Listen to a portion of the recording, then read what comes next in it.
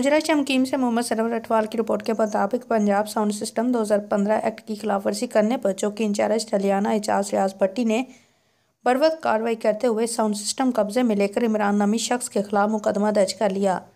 तफसीत के मुताबिक Punjab sound system regulation act 2015 की खिलाफ वर्जी करने पर चौकी डलियाना थाना हुजरा शमकीम की पुलिस मुतरक। चौकी इंचार्ज डलियाना एजाज रियाज भट्टी ने साउंड सिस्टम कब्जे में लेकर इमरान नामी शख्स के खिलाफ मुकदमा दर्ज करके पाबंद सलासल कर दिया।